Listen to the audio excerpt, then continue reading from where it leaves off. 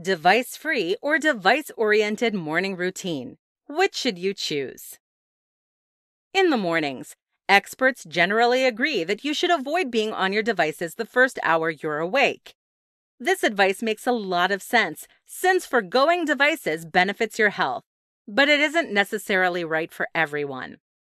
If you're confused about whether or not you should use devices in your morning, keep listening.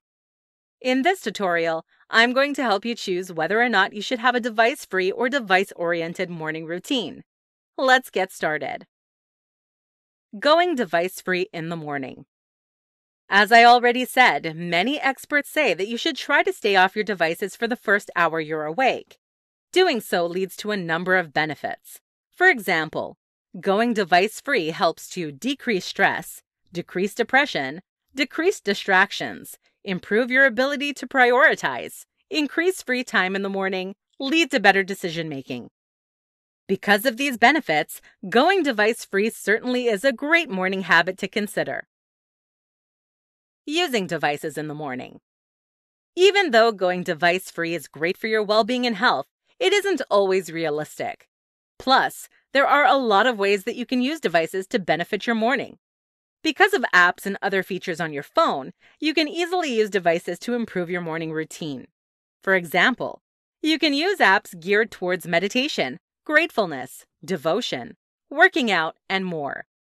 Any of these apps will help you track your goals and keep your morning in check. The difficulty of using these apps is that you need to have enough self discipline so that you don't get on other apps that hinder your morning routine, such as social media, news sites, or anything else that distracts you from your morning. Which you should choose. Now that we've discussed both types, let's talk about which one you should choose. If you're someone who sits on their computer, tablet, or phone for work, going device free in the morning may be a great idea. It gives you a chance to unplug and connect back to your personal life. Another reason you should go device free is if you have a bad work to life balance and don't have self control when it comes to using devices and apps.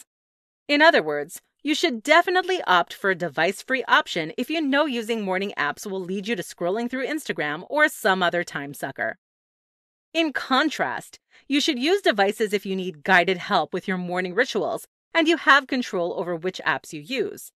You need to have a lot of talent and skill in committing to your helpful apps and staying away from apps that hinder your productivity and connectivity. To ensure that you stay on track, you can set time limits on the unproductive apps to discourage you from using them. Though these time limits won't guarantee you stay away from unproductive apps, they can help you stay on track while using meditation or morning apps. Conclusion In conclusion, whether or not you use devices in the morning is up to you. Most experts recommend going device free the first hour you're awake, but you can use devices for their morning enhancing apps. What matters most is that you use or don't use devices so you can vamp up your morning routine and kickstart your day. For more free educational content, visit learnforfree.biz. Content produced and distributed by AllSuperInfo.